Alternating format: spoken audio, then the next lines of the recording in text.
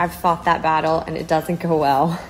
Brittany Mahomes is enlisting some advice from her followers. Shortly after she and husband Patrick Mahomes revealed they are expecting their third baby together, the Sports Illustrated model details her latest battle with her toddler Bronze, whom she shares with her hubby Patrick Mahomes. Taking to her Instagram story on July 28th to write, All right, mamas or professionals, we started a bad habit with Bronze while on vacation. We started letting him watch TV while eating literally just to keep him chill and not throw fits in public because he's still not the best eater and will fight it and will throw huge, huge, huge fits while trying to make him eat. So really didn't want that while we were in restaurants on our trips. Noting, we let him watch TV and he would literally eat anything we gave him in the silence and it was great.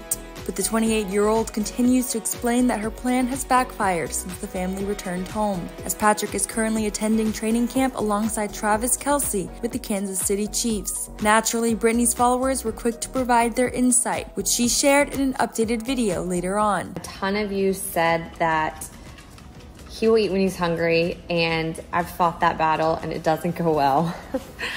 um, he'll just scream and then he'll go for snacks and then he wants snacks and then I just don't have the heart to let him scream and throw fits. I end up giving him what he wants. So I just can't do that method. And she did find solace in the responses she got from her fellow moms and professionals. Um, a lot of you have said y'all are dealing with the same thing, which made me feel a lot better. Um, and a lot, a ton of you were like, it's just a phase, let it happen for your own peace, for your own sanity, do what's best for you.